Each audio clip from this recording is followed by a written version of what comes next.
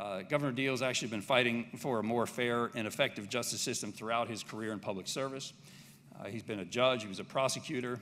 Uh, when I started my career uh, as a reporter in, in Atlanta, uh, I wrote a series of stories about two kids who were being held in juvenile detention, not because they were dangerous, but because the county could not find a place for their parents. they could not find their parents and didn't have any other place to hold them a state senator uh, at the time introduced legislation to prevent that uh, and make sure that there were emergency shelters in such cases. Uh, that was the 1980s, and that senator was Nathan Deal. Uh, so, if you think conservatives have gotten behind criminal justice reform uh, purely for fiscal reasons, you're in for a real surprise this afternoon. Uh, Governor Deal likes save, saving taxpayer money, no doubt about that. Uh, and the Georgia reforms have saved taxpayers in Georgia hundreds of millions of dollars while keeping crime down. Uh, but he also has a deep moral commitment to building a system that is fundamentally fair. Uh, and he understands that public safety and justice are not competing goals, but are mutually reinforcing goals. Uh, it's been our honor at Pew to support many of his efforts, uh, the efforts of a leader uh, who is not only a champion, but a tireless and lifelong champion of criminal justice reform, Governor Nathan Deal.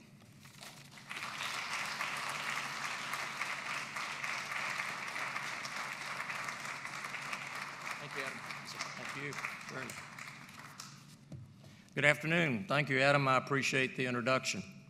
Thanks to all of you for being here today and for the program that you're participating in. I've looked at the speakers, and they are certainly very distinguished individuals and have a lot to offer in terms of this topic that we're all, I hope, interested in. You know, it's been said that uh, Andrew Carnegie once said that uh, if you want to be happy, set a goal that commands your thoughts, liberates your energy, and inspires your hopes. I think all of us, hopefully, at some point in our lives, try to seize on those words. I know when I became governor, in the 2010 election cycle and took office in January of 2011. There were many things that I had to learn, and there were things that I knew and hoped to be able to do something about. In my first State of the State address in January of 2011, I made the issue of criminal justice reform one of the topics that I told our General Assembly I wanted them to consider. But with problems as large as those problems were for our state, and I think virtually the same is true for every other state, I decided you can't just jump into this unless you have very well established support. Because the things I had in mind were going to take legislative changes. And with 180 members of our House and 56 members of our Senate, that, mean there had, that means there had to be a lot of convincing for those individuals to support the propositions that I was asking them to consider. So, what I did was I appointed a Criminal Justice Reform Council.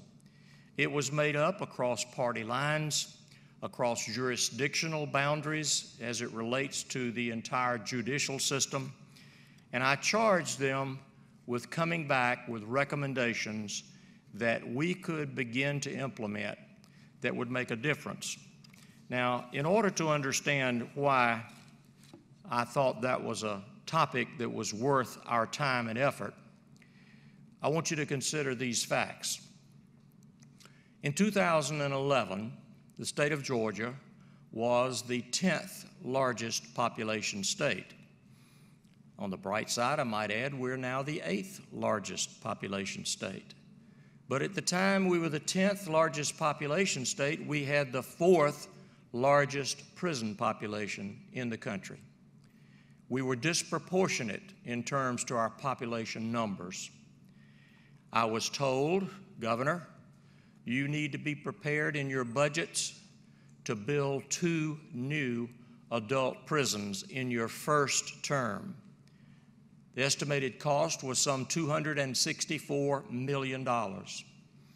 And the reason I was told that was that the prison population of 56,000 was projected to grow to about 60,000 as of last year, 2016.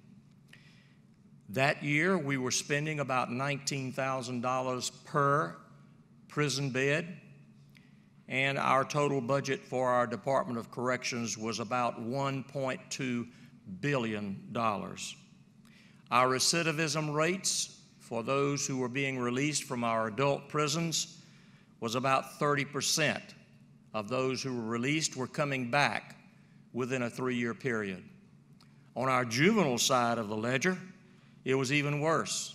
It was about 65% who had been released from our juvenile facilities were back in our facilities in three years or less, and many of them at that point in time had aged out so that they then went into our adult system when they came back.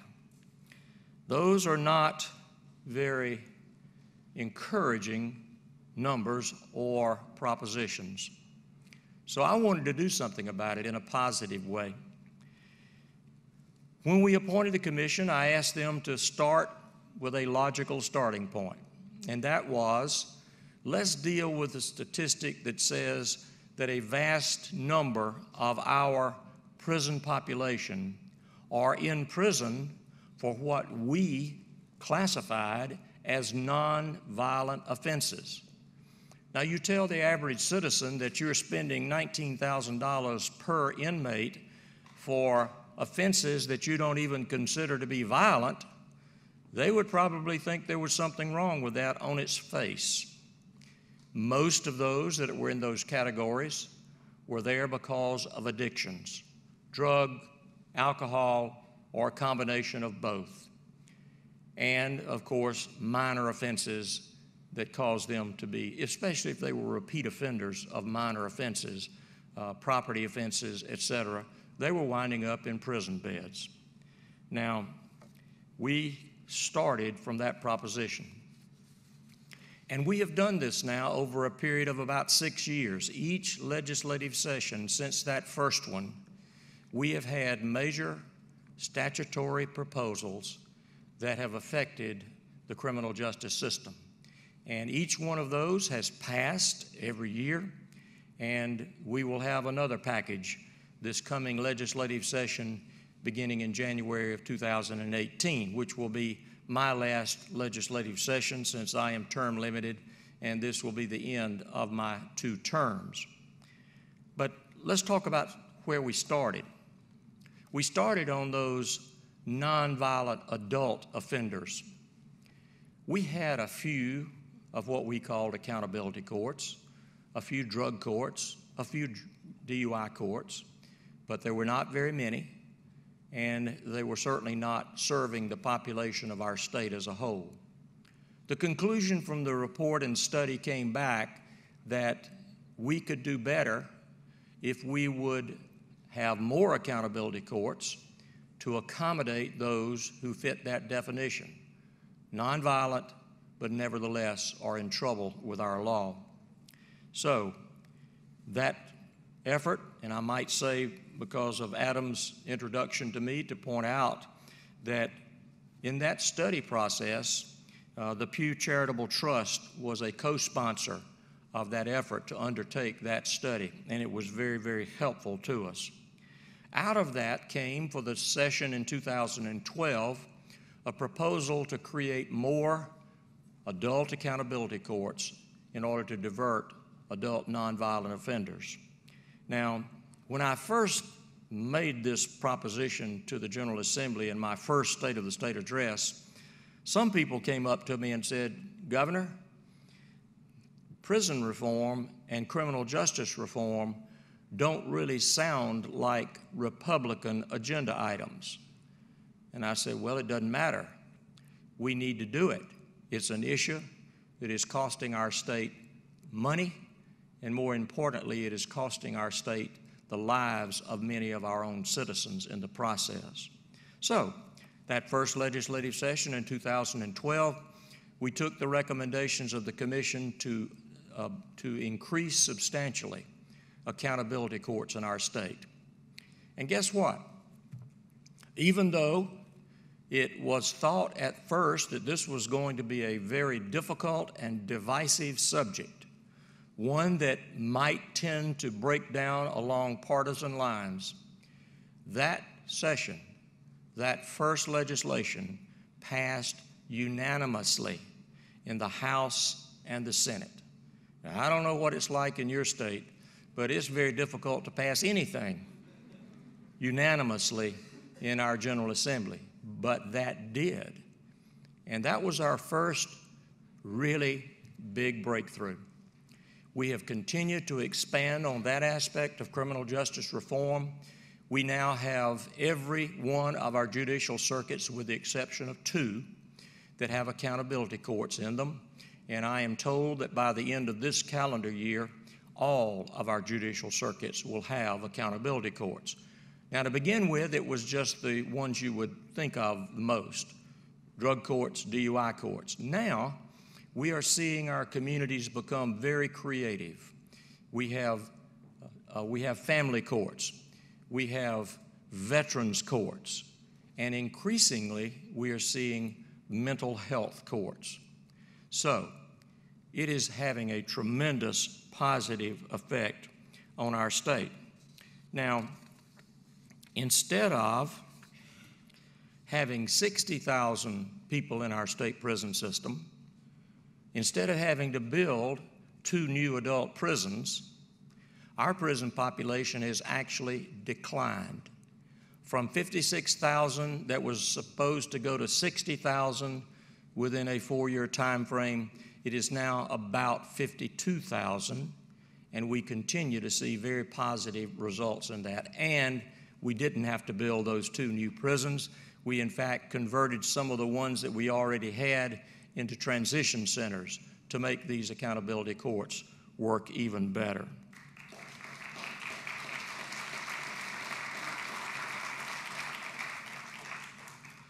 Well, that was only the beginning.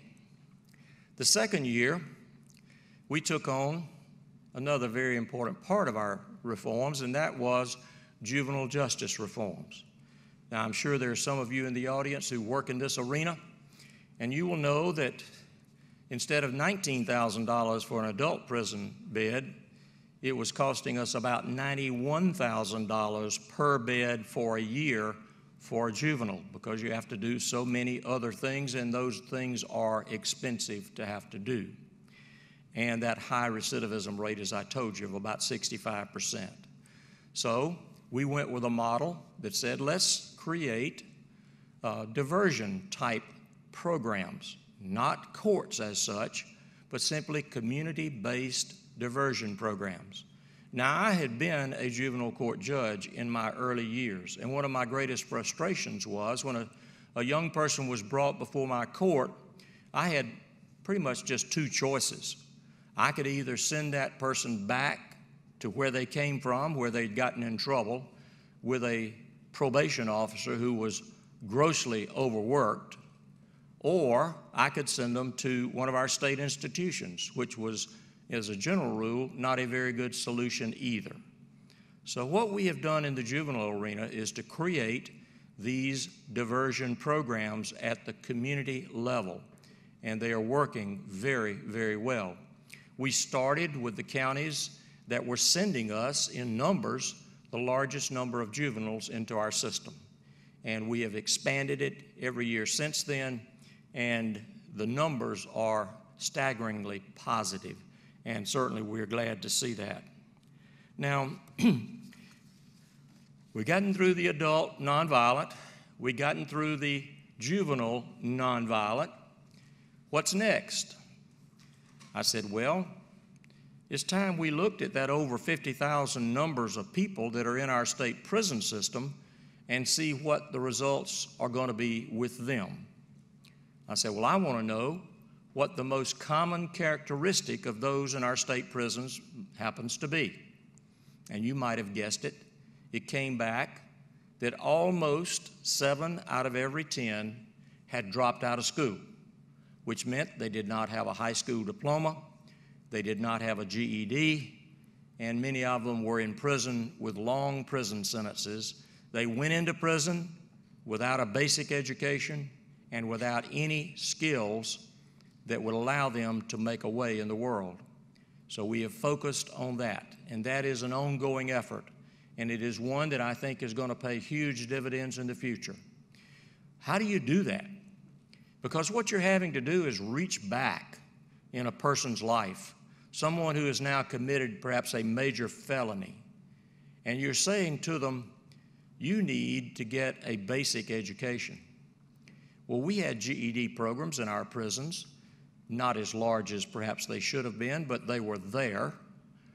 Not a whole lot of emphasis, I think, was being placed on those. And I said, it's time we did something about it. So we did. We not only enhanced our GED programs, but we contracted, first of all, on a pilot basis and now on a permanent basis with a charter school system so that those who take advantage of our charter school within the prison can now actually get a high school diploma, not just a GED. And as you may know, in the minds of many employers, that is an important distinction. But even that was not enough because having a high school diploma or a GED and a felony on your record, you still are going to have a very difficult time finding a job. So I said, let's give them some skills that they can take to an employer so they can get a job and be able to keep a job and support themselves and support their families. And that's what we're doing. We have partnered with our technical college system, and they send teachers into our prisons, and they're teaching them a variety of skills. I'm sure that in your states, you have the same kind of skill gaps that we have in Georgia. We are, as I indicated earlier, a very fast growing state. And by the way, we've just been named for four consecutive years as the best state in the nation in which to do business. So if you want to move somewhere, Georgia might be a good place for you to come. We have created over 700,000 private sector jobs in the last six and a half years in our state. And uh, our state continues to be the home of Fortune 500 company headquarters, and it continues to be a place that people like to come. But you're not going to be able to get a job, even in a state like ours that has thousands of new jobs, if you don't have the right skill set. So, we're teaching them in our prison system in cooperation with our technical college system, and we can almost guarantee them that if they will follow through with these educational programs, they will be able to get a job when they get out. I have to brag on one of our Georgia companies, Blue Bus Bird Company, uh, Blue Bird Bus Company. Get it right here in a minute. They are one of the largest, if not the largest, maker of school buses in the United States. And in making that kind of a product, they need skilled welders. They told me early on if you will send us someone who is a competent and qualified welder, we will hire that person. And true to their word, they have done that. And quite frankly, good welders make very good salaries. So we're having real success. But we have to continue to ask the employer community to open their hearts, to open their minds, and to be willing to give someone who has had a felony, who's made a bad mistake in their past, the opportunity to have a new life. We can do everything we can to educate them, and we're doing a lot in that regard. But we still need the employer community to be willing to give them a chance. Well, that's not easy to do. Uh, they're always afraid that they're going to be sued if they hire someone who's had a felony record. If something goes wrong at work, uh, some innovative trial lawyer, and I used to be an innovative trial lawyer, uh, is going to sue them for that very reason. So, what we have done is that we will give these individuals a certificate specifying what their skill set is, specifying that they have passed the exams and have a stamp of approval from the state of Georgia that they can take to a prospective employer. And with that, that employer is given at least limited liability protection against wrongful employment suits. I think it will make a difference, and it's beginning to show that it is making a difference. So we're continuing to work on that. This year, as we come to the next session of the General Assembly, we will have another package of criminal justice reforms. They will sometimes be simply tweaked, uh, tweaks of reforms we already have in place as we go back and try to close some gaps in the arena of reform and reentry. And reentry continues to be one of our focal points, as it should be. And there are two big impediments to successful reentry. One is a place to live, and that is difficult for many of these inmates to find a place to live because if they've served a long sentence, they probably have alienated their family or lost contact with their family, or the family just simply doesn't want them to come back, which presents a real problem for them. Now, in that regard, I have suggested to my congressional members from Georgia, and perhaps you might, if you think it's a worthwhile notion, you might encourage your members in Congress to do the same, and that is most housing authorities that receive federal grants to operate their authority prohibit people who have a felony record from being allowed to rent one of their units. Now, I know why they do that, but that is the old mindset. We need housing for these returning citizens. And I believe that your taxpayer money that is going by the tens of hundreds of millions of dollars to support housing in your local communities, there should be some allocation somewhere that will provide affordable housing for returning citizens, especially those who have done what they can do to improve themselves, to get an education, and to acquire a marketable skill. But that is one of the big impediments is housing. The second big impediment is employment. And that is equally difficult. I mentioned to you the certificate we're giving them if they've completed our classes and have acquired skills that they can take to an employer. But I went a little further. I know you're all familiar with the term ban the box. Well, what that is, if you're not familiar with it, is when you fill out an application for a job and got all these questions, check the box, you know, this, that, and the other. One of those questions invariably is Do you have a felony on your record? Well, if they are a returning citizen who does have a felony on their record and they're truthful, they're going to have to check that box. And the reality is that most human resources managers, when they are looking at those applications and they see that box has been checked, it gets no further than their desk. And there's no job forthcoming from that point forward. So, instead of trying to legislatively force employers to do something and usually force to get people to do the right thing is not the most effective way. I said, let's set the example. So, for state employment, we have banned the box. And if someone is applying, if, thank you.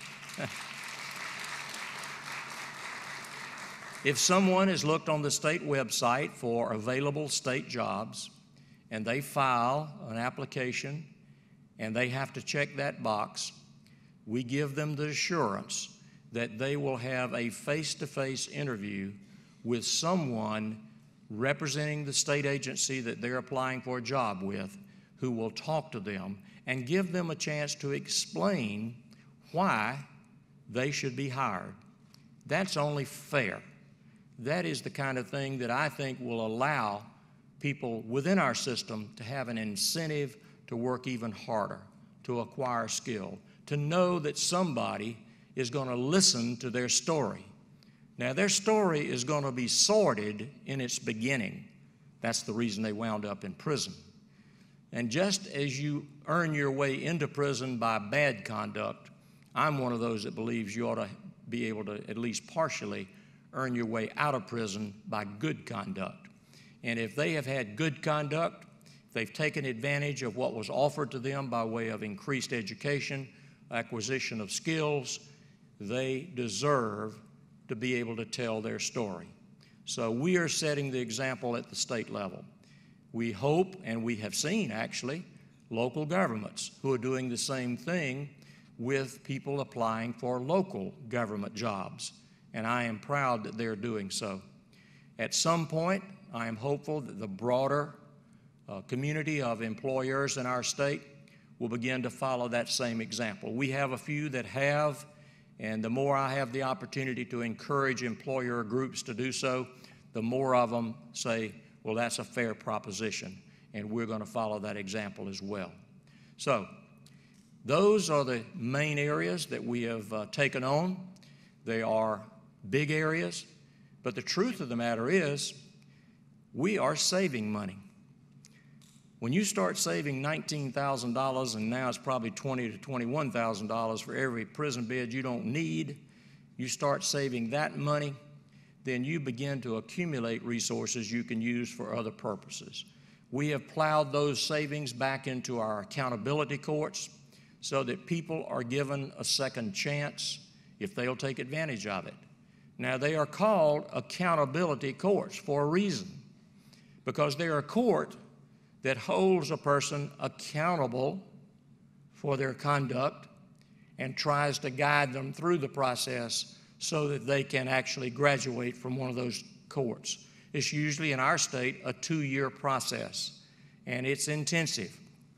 And if you foul up, it's up to the judge as to whether or not you go right back to prison or whether you are sent back to the local county jail to stay for a couple of days or a week until you decide that maybe, yes, I can get on with this program and complete it successfully.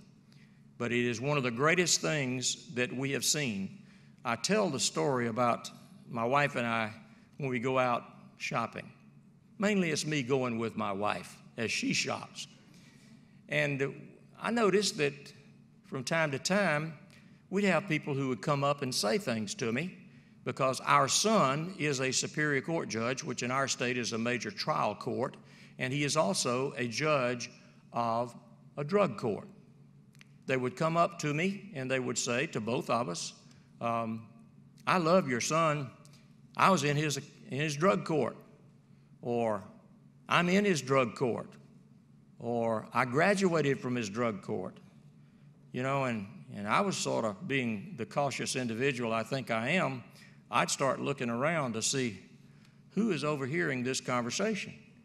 Because I thought they would be embarrassed to tell me they were in or had graduated from a drug court.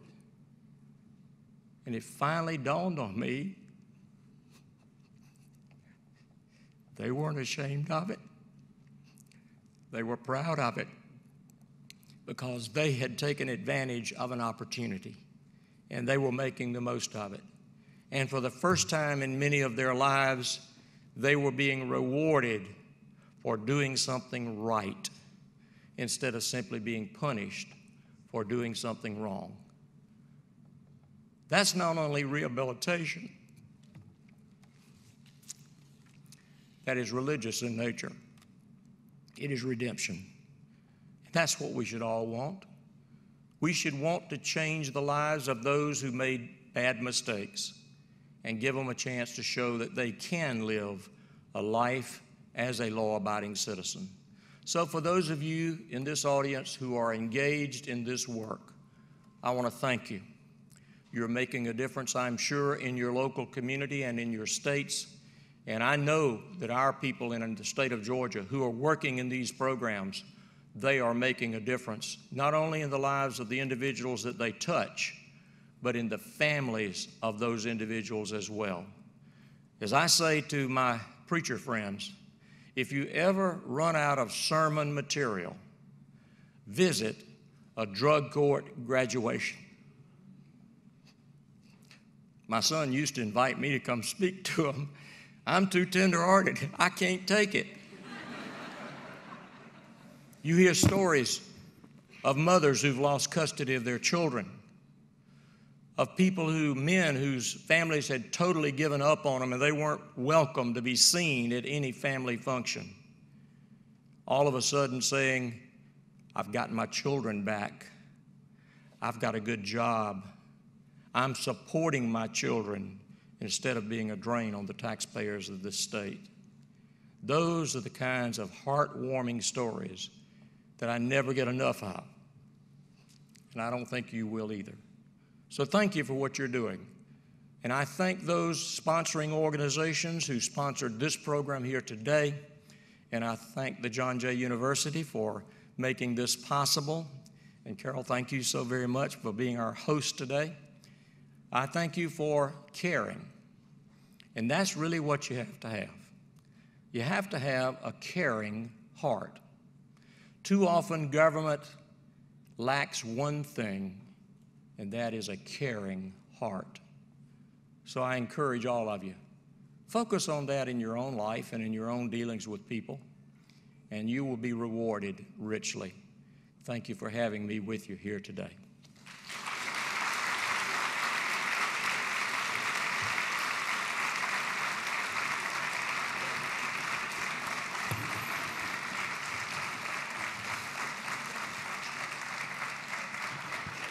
Ladies and gentlemen, please welcome to the stage Craig DeRoche, Rashad Robinson, Brittany Packnett, and Vanita Gupta.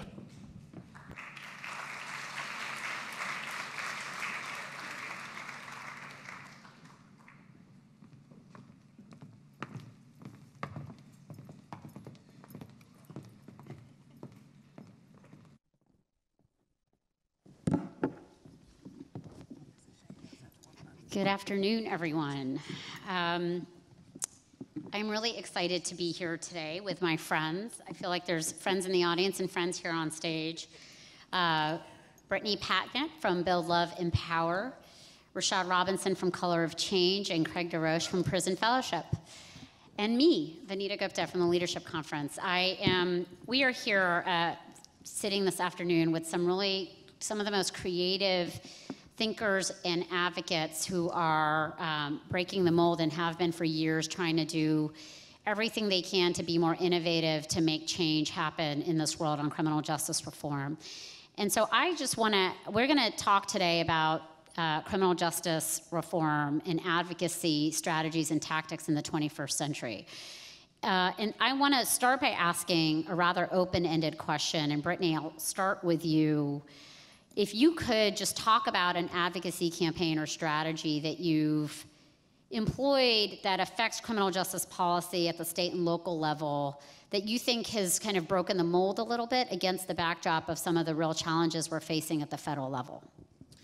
So, uh, thanks so much for the question and thanks for having me here uh, in this important gathering. So, I um, co founded a platform called Campaign Zero, which I actually talked about on this stage like maybe a year ago. Um, and our belief is that we can live in a world where the police don't kill people. So we are a 10, we have a 10 point policy platform uh, focused on ending police violence, everything from taking on police unions to um, dealing with training and implicit bias and lots of things in between a lot of folks in the activist community would have stopped there, but we took a cue, honestly, from the academics that we consulted during um, the, the creation process, and we started to create reports. Uh, we tried to make the reports really sexy and user-friendly, so uh, the, the, kind of infographic style.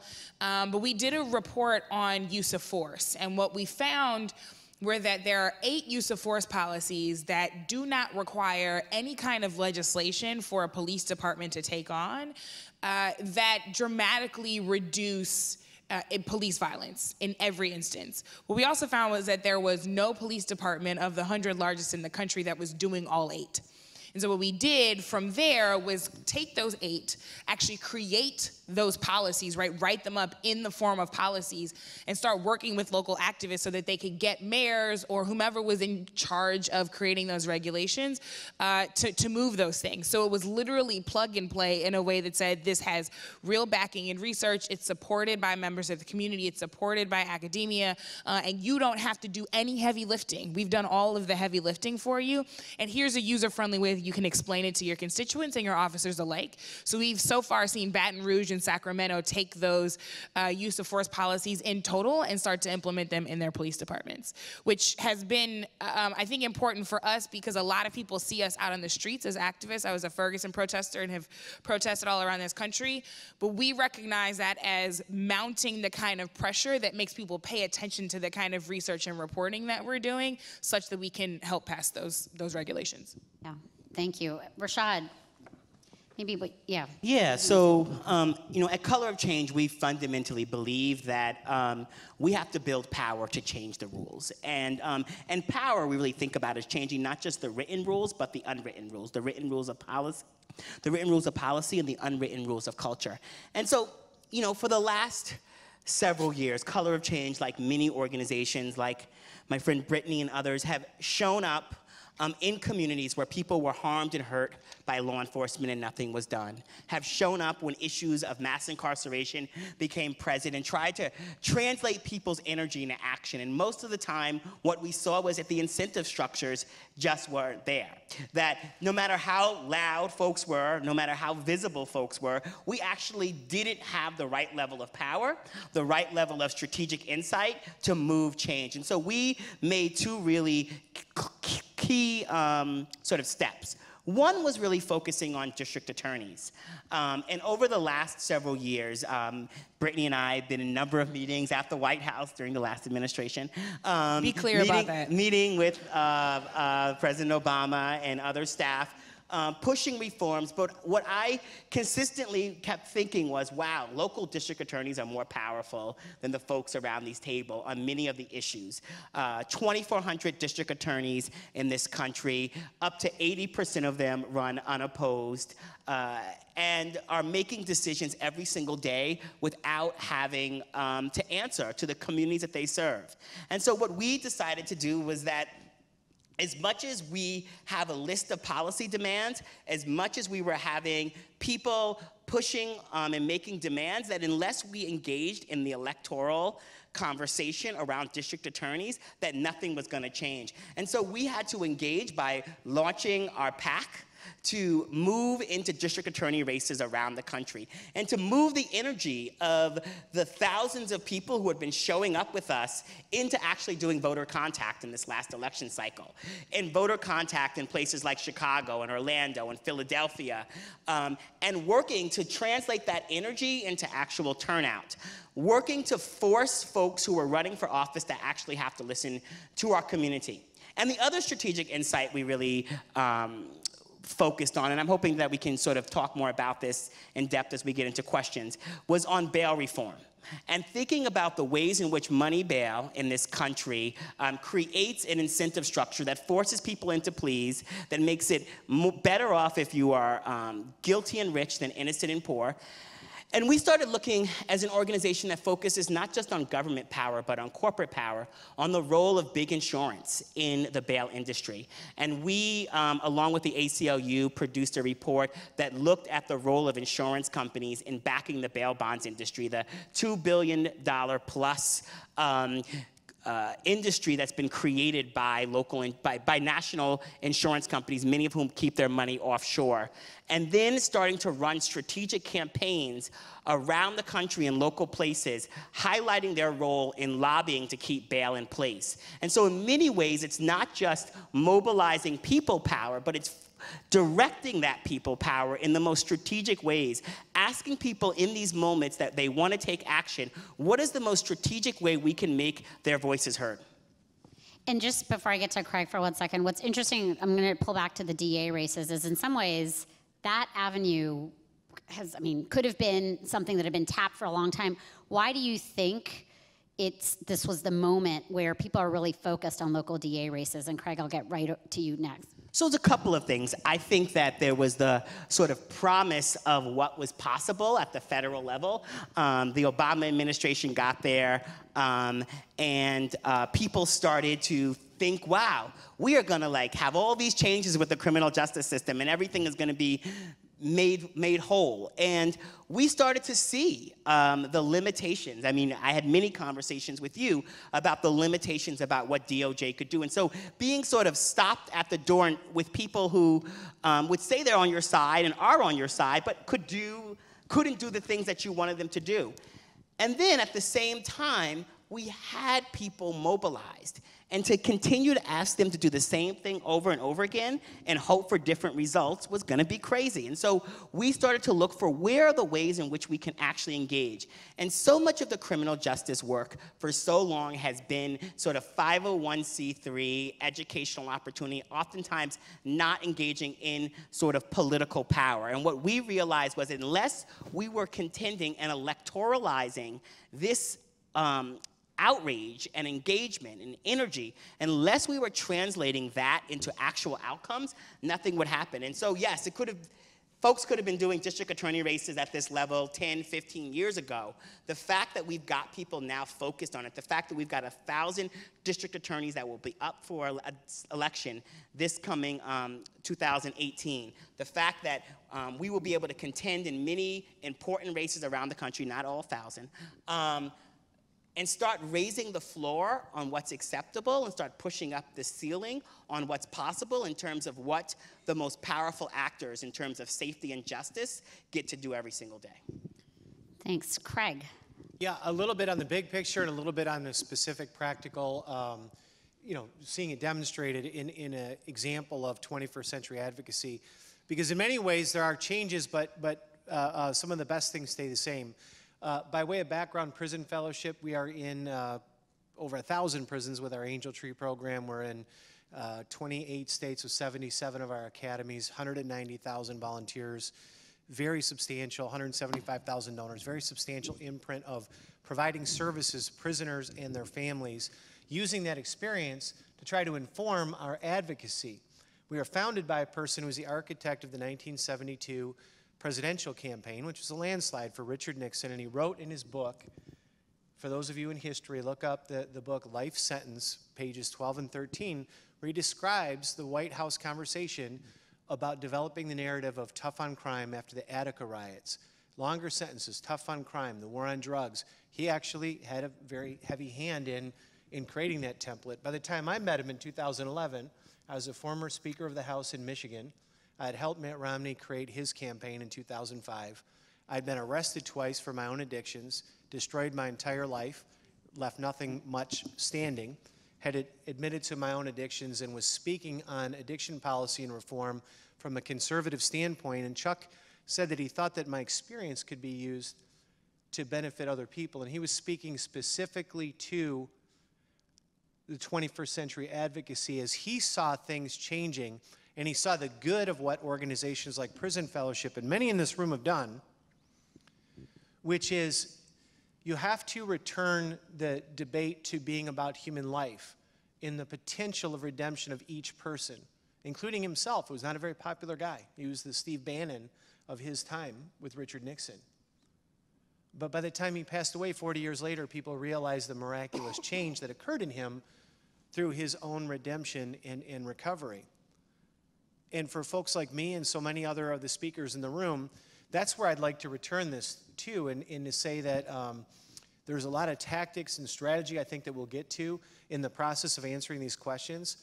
Um, but there, there was something missing in the national dialogue that needed to be inserted again. And that I am very excited because I think it's, it's front and center right now is that we're answering the so what? Who's this about? It's not about other people, it's about ourselves. It's about what we think of ourselves, it's about what we think of our own value, the value of our kids, our spouses, our neighbors. That's what's at stake here. Because if it's just about money, you know, if it's just about spreadsheets and budgets and, and the other things, you'll lose every day. I know that from my time as being a Speaker of the House and a minority leader. I served a couple years in both positions of where you spend your time, where you spend your interests. And to give you a specific example, as we open up the door, and we, you know, we're going to present on a number of topics here, but um, the beginning of my work, Chuck told me to do this in 2011 in the fall. He passed away in 2012, right at the time uh, that I was working in Georgia with Governor Deal. And uh, there was a, uh, the package of bills that he referred to was ready to go. And before that unanimous vote that he talked about, I was called off a plane. I was on my way to Tallahassee and I had a layover in Atlanta. And I got a panicked call saying that the Democratic caucus were going to vote no, that they were going to use this vote as leverage uh, um, to get some other bills passed, and that and, and uh, that they were going to say it was soft on crime, and and uh, the uh, workers in the correctional um, unions were going to back them. And um, I got off the plane. I drove over to Atlanta, and I and I talked about the morals and the values that were at stake with the Republican caucus that was in the majority. But I also called my friends at the NAACP. And when they called over to the Democratic leader, they phrased it this way. So our understanding is when we go picket you guys next week, that you want to lock up young African American men to create jobs. That's what the Democrats stand for in Georgia. I'm tipping my hat to the NAACP, by the way, in saying that they took a strong stand on the morality of what was being proposed in the political expediency of the narrative of the day. And so as we unpack these things, I want you to know that the people on the right, you know, the people on the left that have been the most successful 21st century advocacy in general, at a big scale, and with the specifics as we explore them and give examples, are the people that put their values on the line and, and talk about them strongly.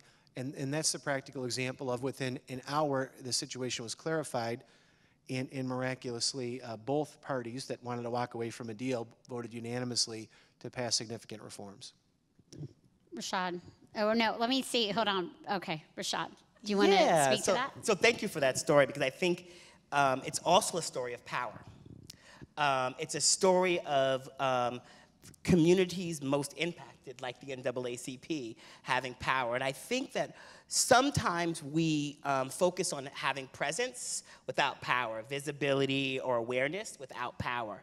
Um, we work to build empathy, um, and that gets people to see a situation that's unfortunate um, instead of power when they see a situation as unjust. And so, what I think the story is great because it showed that um, there were all sorts of forces at play and power, regardless of sort of like political affiliation, and that um, there are so many um, entities that are willing to profit um, off of uh, the legacy of slavery, which is mass incarceration in this country, and um, not just profit from you know, from, um, from money, but profit from power, opportunity, um, job growth, whatever. Um, and to the extent that we have to build the type of powerful campaigns in our community. If we think about 21st century power, I do think that we want to be careful not to be in the thing that sometimes we often get to, and I'll talk about just the left, because the left does magical thinking a lot, where we think that if we like develop an app uh, we can code our way out of it, or um, we go into the courtroom with one legal with one legal case and we solve all the problems, or that we have one research report. Um, when we do research reports, other people do research reports, but one research report, we just get the facts out there, and then people will like suddenly come to our conclusion, right? Just like, uh, you know, or that we create a nonprofit and we nonprofit executive direct our way out of the problems. And without people power and narrative change, nothing will change because we are in a conversation in this country about power. A school, and this is not just on criminal justice, a school of beautiful white children can get shot up with guns. We can have the public polling say we want gun reform, and nothing happens because these are conversations about building power. So, in the 21st century, when we think about the role of whether it be technology or culture, at the heart of it, it has to be about finding the strategic interventions to build power and force institutions and decision makers to be accountable, force people to be nervous about disappointing the most impacted communities. Because without that, all the other things will fail and fall. It doesn't mean that we don't need empathy. It means that when you have empathy, big corporations go and feel bad for kids in poor, failing schools, and they go and do service days at those schools instead of cleaning them up. If we have just empathy, people will just focus on reentry programs instead of actually dealing with why people are inside in the first place and the laws and structures. I'll stop there. So let me, applause, applause. So I want to push that a little bit further, Brittany. And, um, you know, there's a thing that is transactional power too, which can be its own problem, or you build power for the moment where there might be a particular outrage or injustice, and particularly with social media and technology where so much of the organizing is happening online like where is the movement building or sustaining work that's done? And i want to pick that up on like in the conservative movement for criminal justice reform you know I, I, would love craig then for you to pick that up and talk about like what are the values that are sustaining momentum even in the face of i think tremendous pressures from probably within the republican party or in the white house or whatever else to talk a little bit about what i think it's powerful to think about whether values actually help sustain the power in these movements. So, Brittany, let me ask you first. Well, in, it, Rashad's point really made me think about the fact that if we're honest, especially in marginalized communities, power is a dirty word, right? It is a dirty concept. It is the thing that the people who have been oppressing you have, and therefore it can't be any good. It can't be leveraged for good. Instead of recognizing that actually power is something that we should stop ceding to those folks, right? And reclaim it for ourselves. That is why it was so important for us. Um, that's why it was so important for us after we wrote the use of force report to return to activists and say, so now that you have exercised your power on the streets, now that you have created what Dr. King called that tension, right? Created the crisis so that power structures are forced to move. Now that you have exercised that power in a way that helps you recognize that you even have it, we want you to continue to practice what it means to use that power, right? And so we are not, we, we created what we call a platform instead of an organization, right? Because we weren't actually about creating something that sustained ourselves. We were about creating something that sustained the people, right? So we wanted to create tools that people could leverage in their power and that could actively give them the opportunity to practice that power because unless you practice the power, you're going to keep ceding it to other folks. You're going to keep thinking it's a dirty thing. You're going to keep thinking that you don't want to be powerful. Um, and so for me, that is how we get beyond this kind of episodic thing, right? And especially in, and you know, I do racial justice work broadly, but especially in this conversation about police violence, the episode always happens when somebody else dies, right? And it, and it depends on if that thing gets enough attention, if the right reporter writes about it, if the right person tweets about it, if it happened in the right city with the right amount of activists or activists who are used to working on this. And it, de- it depends on the perfection of the victim, right? So there are so many um, conditions placed on on our efficacy when we allow it to be episodic in that way. Um, and that is why we have tried to continue not only to broaden what people are focused on, but how people are using that continued energy. And so you can actually see a lot of this progress in St. Louis, for example. So in St. Louis, we had not just one killing with Michael Brown, but we had actually six killings by police in a six month span of time, all across St. Louis City and County. So the protest movement continued to grow because we were literally collecting people from different neighborhoods because it hit their neighborhood now. And so instead of letting this be the Shaw neighborhood episode or the Ferguson episode or the Berkeley neighborhood episode, all of the folks from Ferguson came to Shaw. And then we got more people in Shaw, and all of the folks from Ferguson and Shaw were in Berkeley. And so we continued to grow and then swung that into electoral campaigns. So if you remember, the Ferguson City Council was all white. It is no longer all white. And that's because Shaw activists and Berkeley activists and Ferguson activists showed up, knocked on doors, did all of, made the phone calls, did the voter contact, did all of those kinds of things to run a slate of candidates. We've got two activists from those from that community. One who's now in the state house. One who's now an assembly member. Um, we've we've gotten a new a new circuit attorney. Uh, we were very very close to having it. We were 888 votes shy of having our most progressive mayor in history. Um, but we kept giving people different tasks, right? that allowed them to say, This thing that I practiced last week, this power that I started to get used to last week, I can now use it for something else. And this thing keeps on building, right? It was just like when I was teaching a child, you understand addition and then you can do sub- uh, subtraction. When you understand addition and subtraction, then you can do multiplication. When you can do division, when you can do multiplication, multiplication, you can do division.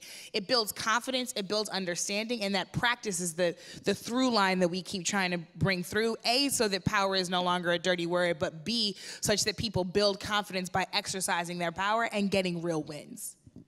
Um, so Craig, let me, I'm going to rephrase this, and it's building off of what Rashad and Brittany have said, but kind of, in, in a certain sense, obviously the political climate is different today than it was a year ago. And you were talking about values, and presumably one of the kind of benefits of movements being animated by values is because, is that they should sustain political wins. And so I want, if you could just speak to a little bit, the moment that we find ourselves in, you as a conservative criminal justice reformer, you know, reflect a little bit about kind of where the values piece comes in, and for state, for folks working on state and local reform, and doing right-left reform work, how has the political climate changed or not changed, and how has it affected your current day advocacy? Yeah, absolutely. And uh, first, I'll start with a little uh, Chuck Colsonism here. That yeah, the culture is the cult, right? And and um, so to influence the representatives of that culture um, you have to influence the cult, the, the people, and, and um, have them speak out. So I appreciate, you know, the, the, all the contributions that, um, for the politicians, what I try to remind people is um, we are not trying to persuade people to adopt a new set of values. I don't see that from the American left or the American right. What we're trying to do is to get people to live up to the ideas that they campaigned on or that they say that they subscribe to which happen to be very different from what the public policy is in America related to justice. So if I could, I'm, I'm going to give, and, and I hope I don't offend anybody in this room. My family's been visited by tragedy. I'm not going to explain it here. I'm not trying to be insensitive. But I want to draw an important example. When you go to uh, talk to people about the values that they already have, it helps to listen to where those are and where we find agreement. So when I'm talking with my friends on the left, what I've noticed is we share a very similar passion for the value of human life when people are already born, when they're alive, when they're facing struggle, when they're in their foster care system, when they're in the criminal justice system. We fight just as hard with the same principles and the values.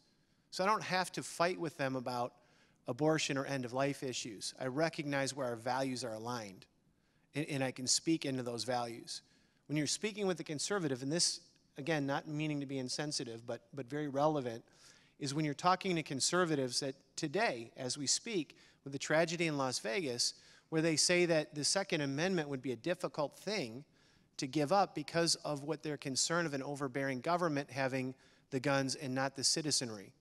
They're talking about their values, whether you agree or not. And if you listen to that, you'd recognize a pathway to reminding them that they should be fighting just as hard for the Eighth Amendment in the Sixth Amendment and, and everything else that's in that Bill of Rights. If that's what their values already are, then they should be a warrior and a soldier alongside us with bail reform and with making sure it's not just a warm body doing the counsel, but that is an overbearing government that has three or four well paid lawyers and DNA experts prosecuting somebody, and that same check and balance should apply to your philosophy, sir, that I should have three or four people and, and a DNA expert then, if you actually believe in what you've said your values are. And we could have an entirely different construction of the debate, and, and, and we can engage and, and, and come alive with that because most people don't want to flip flop. They don't want to go back and forth. They don't want to equivocate. But we haven't articulated it well in this country that, that what we come from out of what we say our core beliefs are and what we put on our campaign literature, and again, guilty of this and not always living up to it, is that you can be held to account for that. And that's what this movement needs to choose our words and our fights to do. If we truly want to go further, it's great to pass an indigent defense bill that affords a million more dollars in New York or something like that. But it's better for us to define the values and say that we're not going to be happy until the defense is competitive with the prosecution in every way because that's what we actually believe in our heart is the right way to run the American justice system. So I just wanted to draw. Is that hopefully I made yeah. a point there? No, you did. And I want to just push you though to answer the last part of my question, which is in this political climate where there are different values and the, out of the conservative movement on criminal justice reform, I would say I think you know Jeff Sessions may be um, in the minority compared to the majority on criminal justice reform, but how has it had an impact on state and local work from the right on criminal justice reform or not? Absolutely, it has. And what a remarkable change that Vanita can make that statement. Take that in. She just said that Jeff Sessions' opinion on criminal justice is in the minority in Republicans, which Imagine saying that 10 years ago. I would say at the federal level, uh, he was to the right of his party as senator, right? So, But, yeah, still, no, I mean, mean, it I, was, I he- think that's it- right. It was a far more popular position 10 years ago, is what I'm saying. It, it, it- it's uh, going away, um, uh, uh, certainly. And uh, what the Attorney General is doing um, is he's representing uh, um, an ideology or, or a practice, a political practice, is a better way to say it, because it's not an ideology, um, that I think that was a, was a shortcut, was never consistent with uh, conservatism, uh, was never consistent with the Bill of Rights, was a, uh political winner for a time in America, and um, it's, it's, uh, it, it's, it's fading away, but absolutely the idea that um, returning to it uh, still has its supporters, and, and um, the Attorney General's uh, speaking to that and with some of the policy changes has um, fueled um, some additional resistance, but we're seeing even in the White House with the Center for American Innovation, led by Jared Kushner, a different path being uh, set um, literally as we speak. So uh, I think even um, at, at the White House, it's not going uncontested. Well, it, look, my, my belief on criminal justice is that it was, the buildup has been over 40 years on the hands of Democrats and Republicans, and we've had mass incarceration buildup uh, by both parties who um, are responsible for this. So, but let me, let me turn it back to Rashad now. You know, one of the things that I think Color of Change has been so enormously effective at is this incredible like digital organizing, getting people to get invested, recognizing secondary enablers, as you said, with the corporate sector, the folks who actually may not be the primary targets, but people who are, are surrounding and enabling a certain or profiting literally out of a set of practices. Um, and but I want to ask, like in this, well, Rashad, like, what do you think about whether that form of organizing?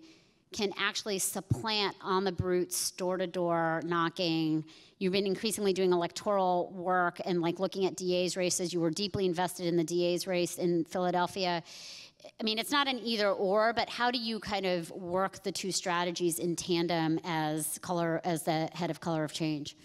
Yeah, it's, it's just, it's not an either or. It's, um, you know, we have this model of respond, build, pivot, and scale. Respond to moments that are happening so that you are capturing people's energy in that moment because otherwise people will go back to doing what they were doing before. Try to build energy and engagement and allies and, and power through um, organizing people and then pivot to the systemic issue. And so, um, if the systemic issue is corporate power, if the systemic issue is trying to change a law or get someone out of office, and then trying to scale that participation over time so you're keeping people deeply engaged over a period of time. What I will say is that um, in all of this work, um, moving people from online to offline engagement is critically important and not thinking of them as, as sort of deeply separate things. Technology, um, we sometimes get, um, we sometimes fantasize about how what technology is going to solve, but technology has always been used in civil rights struggles. Julian Bond once told me, the late Julian Bond once told me the story of when SNCC installed the WATS line in their Shaw University office, which was the precursor to the 1-800 number, and allowed them to bypass the Ma Bell operators that would largely inter- intercept their calls in the South um, that were controlled by the White Citizens Council. Um, the WATS line did not uh, change their theory of change or their organizing principles. It was a technology that allowed them to move information quicker. It allowed them to um, um, be smarter about how they moved it, but it did not, if they had a bad organizing strategy, WATS Line wouldn't have helped them, nor would any texting platform help us, any Facebook page or Twitter account. What I'll also say, just quickly to sort of respond to what you were saying, um, sort of about sort of people's values. I think people say a lot of things and then act completely different. How many times do people say that they uh, would choose the vegetables, but then when given a choice, pick the french fries? Um, I'm one of those people, so. Um, eh, people say things all the time, and so we actually have to get down to people's actual behavior. This goes to the political leaders down to the voters. And to the extent that the reasons why people may show up for the Second Amendment and what they say of why they show up for the Second Amendment and why they may not show up for sort of other um, rights and protections that are part of the Constitution are not simply just about sort of what they may say, but it's about um, things that are deeper that we actually have to get to. And until we actually fundamentally change the power structure around race in this country, then we can't, then the, all the other trickery is just not going to work. And until we deal with the fact that people see inequality, whether it be poverty, racism, sexism, as unfortunate, like a car accident, that's really sad. That's sad that happened to that person, instead of unjust, where we actually have to change it.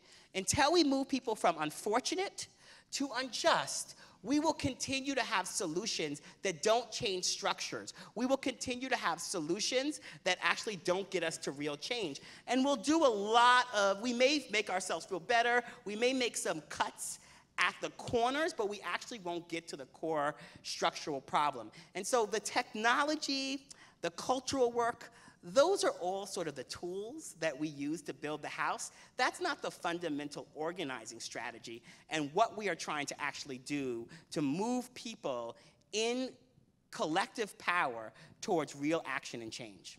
And and yes. And here's why that is so such a significant point because the one thing we have not talked about yet, which we have to talk about is money. Yeah.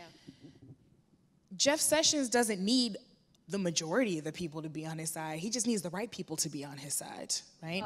the right Go ahead. No, and let me just say, I mean, it's not just that because he can. He's got, he's the Attorney General of the United States who controls a lot of the purse strings that are going to all the state and local jurisdictions. It's Yes. policy. It's federal enforcement, but it's a much bigger proposition than that. it is a much bigger proposition than that, right? So if you trace, if you connect the dots of the the criminal justice system in Missouri alone, and you figure out who's profiting from that, it's not some it, it- it's not Rush Limbaugh, right? It's not some wild tiki torch bearing far right white supremacist. It's a car rental company. That's who's interested in, in propelling this, right? That's who's interested in keeping this up.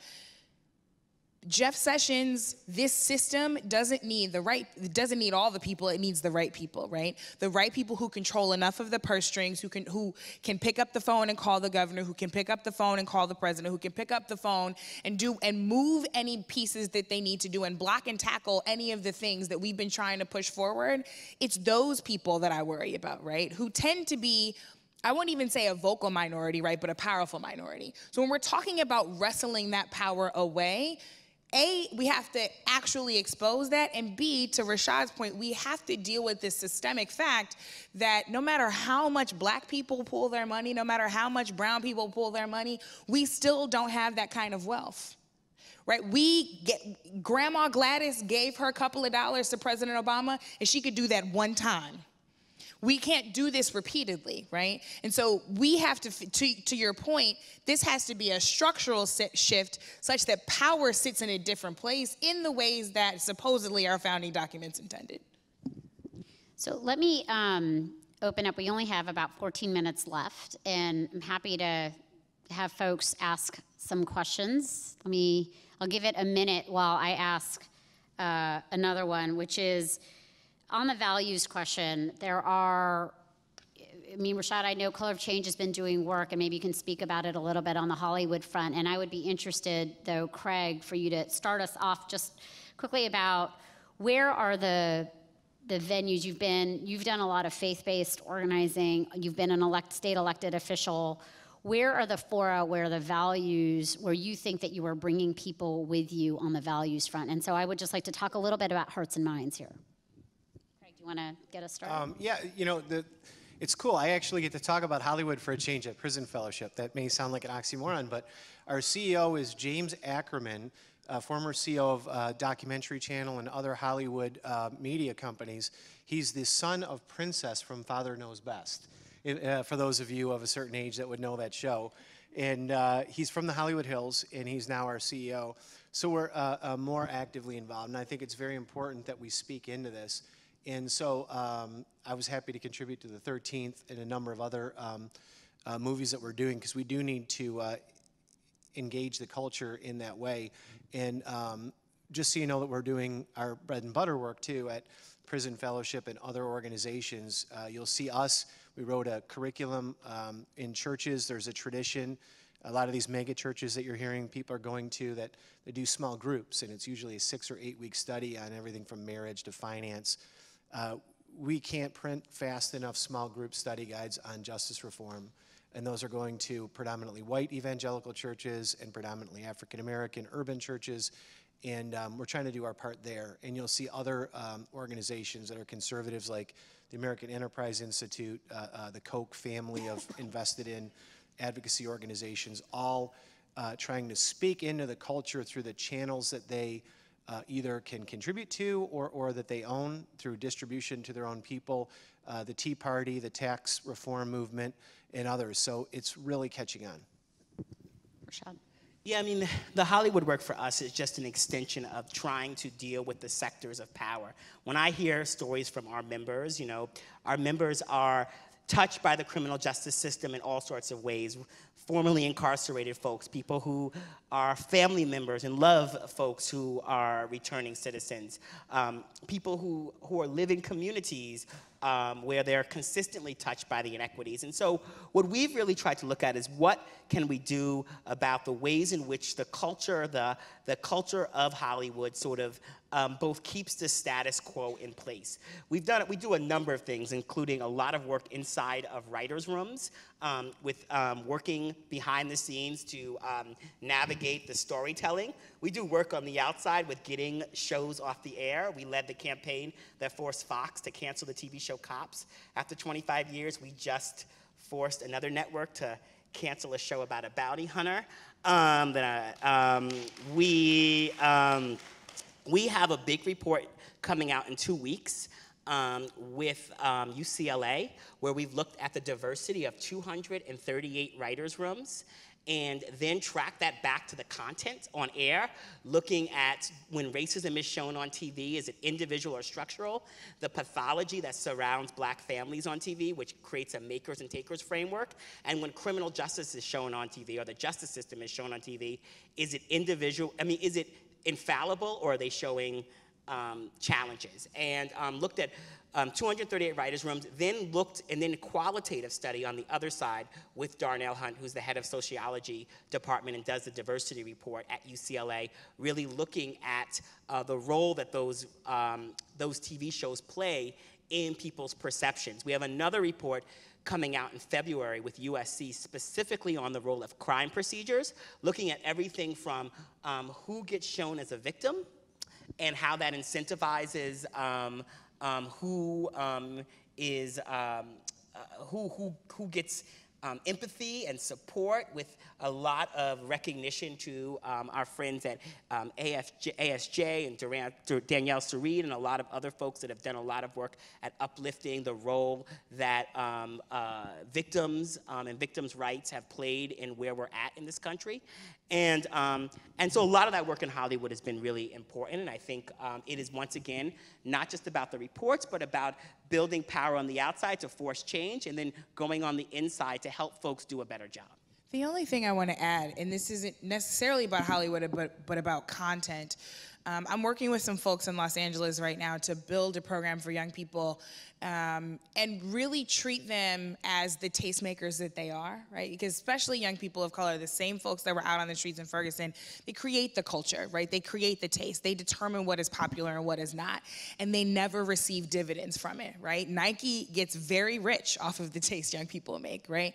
Uh, Twitter, Vine, they've all made a lot of money based off of what young people do, and those young people are still broke, and they still can't afford the things that they need to afford. So what we are trying to build is a space where they can um, work as creatives and also as business folks, right? So to collect the capital and the wealth from the things that they are creating. And then our challenge to them is how, how, do you, how are you investing this, both collectively and individually? And I share that preview to say that I believe that the future of this thing has to dismiss the paternalism with which we have continuously operated. We have always privileged folks, folks with good titles and good degrees, we have always set the agenda for other people and told them to fall in line instead of saying it is your agenda to set because this is your community and therefore we are going to be behind you. Similarly, we are not going to fund these young people's dreams. We are going to set them up to fund their own dreams, right? That difference in empowerment versus paternalism is the place that we have to go and we're not going to figure this thing out until we do. So, so let me t- get uh, cut into our audience Q and A time, but we have a few more minutes left. Um, let me take some questions from the audience. And is somebody walking around with a mic, perhaps? And let's just make sure there are questions. There you go. I have uh, one question about mindset. Uh, First of all, uh, my name is Art Knight. I'm actually Deputy Chief, uh, Minneapolis uh, Police Department. And what I want to talk about is mindset uh, for the prison system. When you look at police officers, and again, I have 26 years' experience, and I can tell you a lot of law enforcement, when you look at an individual coming out of prison, you have that mindset, that implicit bias.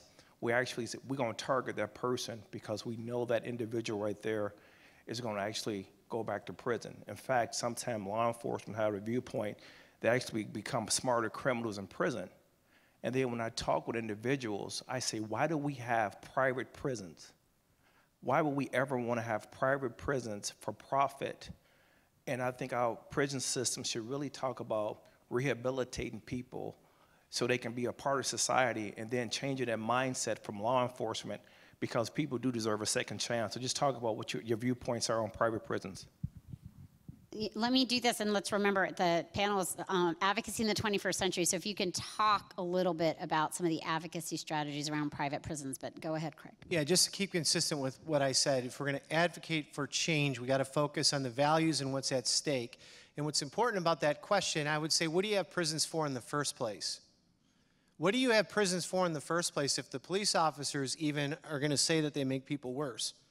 Why would you send somebody to a hospital if their condition got worse? Why would you send your kid to school if they were made less smart?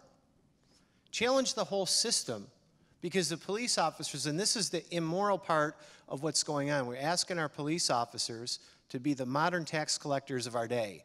We're telling them that they have to stop and frisk so many people, that they've got a quota. We're telling them that they get to seize people's stuff because that funds the new cars and the pension plans and the other things, rather than saying, you're funded to do justice, and when we convict somebody and we put them through a process, it's supposed to be so you never see them again. They're part of the solution, not part of the problem.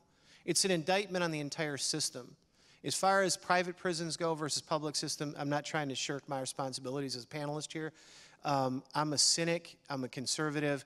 I've run a state system that was heavily unionized. I see no difference in behavior between government employees and, and the shareholders of for-profit corporations. And I think both of them need an incredible amount of scrutiny and, and uh, change because it's almost identical, the, the behaviors and the motivational problems I see that lead to perverse incentives and, and moral hazards. Yeah, so I totally disagree on the incentive structure um, around privatizing um, public goods and putting a profit on the number of beds um, that need to be filled through these state contracts. At the same time, I will say that if we got rid of all the private prisons in this country, it would just be a drop in the bucket um, in terms of um, the num of, of where we're at in terms of mass incarceration. And so sometimes private prisons capture the imagination of like that we if we get rid of them, then we've solved the problem. At the same time, the warped incentive structures, the level of human rights violations that then get covered up, the um, ways in which um, banks and businesses, and we've had a lot of experience trying to do divestment campaigns. Um, on private prisons and the complicated way that they are um, that the shareholders um, are protected through mutual funds and pension funds and the investments has made that type of campaign one of the hardest type of divestment campaigns. And we like to say that we not only run them but we win those type of campaigns forcing corporations to do things that they don't want to do. And it's just been an ongoing very hard thing and something that we've actually had to backtrack on and take some time to really learn from the fracking folks and others um, because it is a really complicated campaign. But private prisons um, and the incentive, worked incentive structures um, that that they create um, are something that we need to get rid of. But it doesn't mean that we've actually done the work of ending mass incarceration. So very quickly to extend the conversation, because I think you're exactly right. We can't let public prisons off the hook. One is uh, a tactic of exposure. So unless you have a family member or know someone or you yourself have been in prison or in jail, a lot of folks do not understand the mechanics of all of this and how it works. So that is, I mean, there is literally a cartoon, I kid you not, that connects the dots between private prisons in Missouri and the rental car company that I was just talking about, right? Um, because folks are just not seeing what's happening behind the scenes. So that gives people the information to, for instance, instance, create economic pressure, which was a choice that the activists made. Um, but there's also a level of exposure that, you know, I remember as activists have been jailed, how much money we had to send people just for them to get phone cards to call out, right? I mean, it's these extravagant prices, which I'm sure a lot of you are familiar with, but these are the stories that don't get told. And so not only giving those humanizing elements and telling those stories, but also telling the stories that are happening every day that in, in our, our mind as folks on the outside feel extreme is critically important. Um, the second thing I will say though is that we have decided, especially in the movement space, to leave room for every option. So a lot of people want to stop the conversation at how do you reform prisons. We are perfectly willing to have a conversation about what happens if we can abolish prisons, right? If we're not willing to imagine that far, then if we're not willing to shoot for the moon and land amongst the stars, then we're not going to get anywhere. That's why we called Campaign Zero Campaign Zero. We didn't call it Campaign Fewer, we called it Campaign Zero. People think that it's unbelievable, but if we do not push our ability to imagine, we're not going to get very far. Um, and so I think that, especially as an advocacy tool, as we as we work in this space, we have to be willing to move all the way there and say, what would it look like to rehabilitate folks without using a prison? Prison. So we have one minute left. Uh, is there anyone with a burning question? Yes, there's one question over there.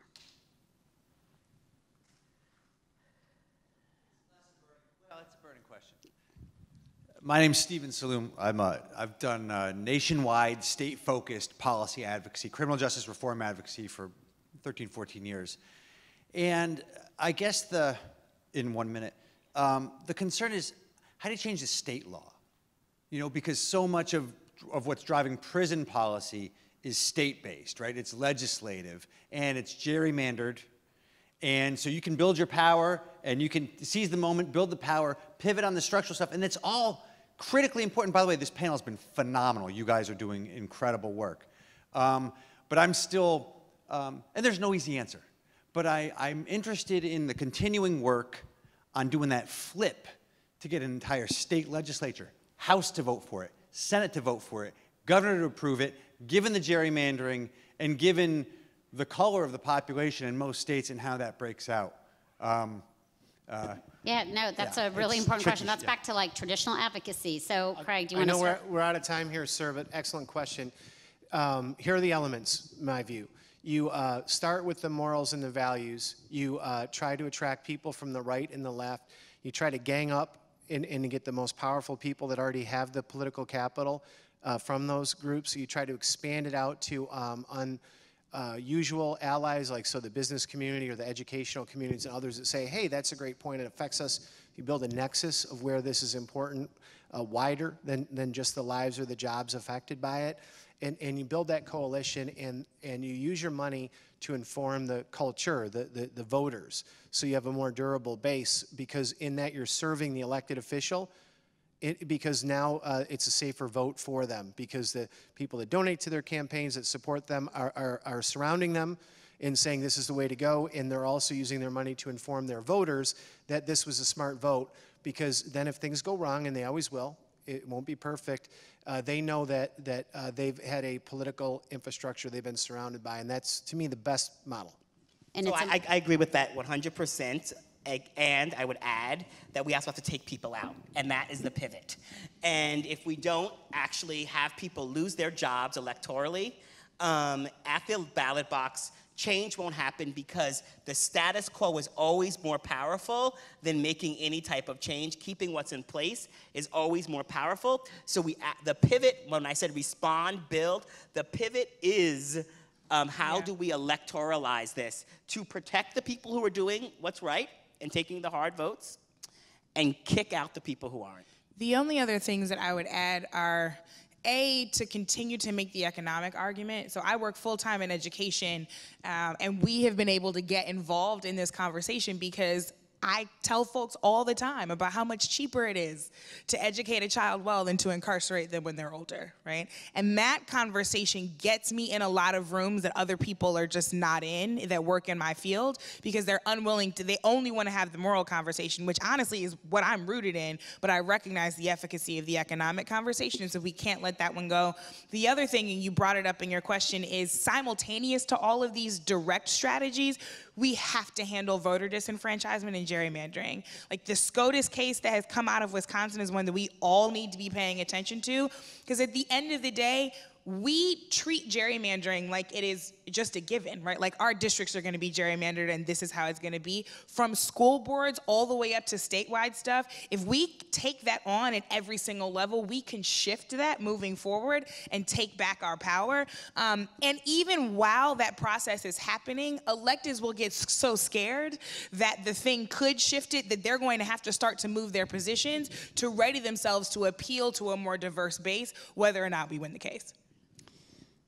I have so much to say about voter suppression, but I'm going to hold back, and I'm going to hold back about. But look, I really appreciate that this was a very rigorous and, and, and robust panel. I had no doubt it would be. I want to thank these amazing speakers who are doing just awesome work in communities around the country. Thank you.